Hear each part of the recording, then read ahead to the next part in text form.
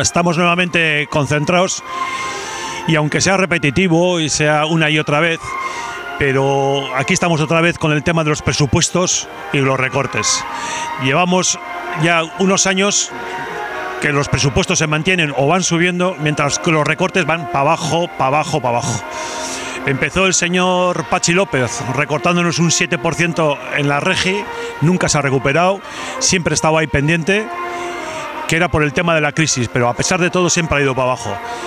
Las ayudas sociales no simplemente son para la gente que no tenemos otra cosa. Las ayudas sociales son para gente que está trabajando y cobrando unos salarios de miseria. Tener en cuenta que un piso, un alquiler de un piso vale 700 euros. El sueldo mínimo vale 650 euros. Cada uno que haga sus números porque todo el mundo tenemos los gastos en casa y sabemos cómo es. Y esto no va a llegar a ningún sitio. Tenemos gente como responsables sociales, como en Erandio, las, que, en el cual cuando les planteas este tema te dicen vete a vivir a otro sitio. Y concretamente nos dicen vete a vivir a Charcoaga porque aquí no se puede. Esto no es una solución, no es nada, sino es la miseria de las personas y de la gente que nos gobierna los, nuestros gobernantes que solo pretenden hacer de ellos y sus amigos esto sea un paraíso. En Euskadi no hay problemas. En Euskadi todo viene bien, todo es bonito.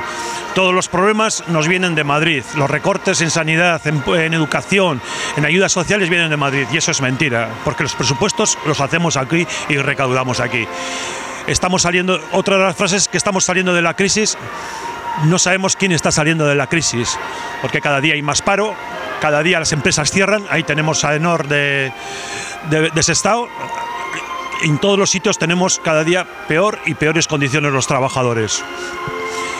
Nuestra protesta no es esta una más, sino va a ser una tras otra, tras otra, hasta que consigamos que sean reconocidos los derechos de todas las personas.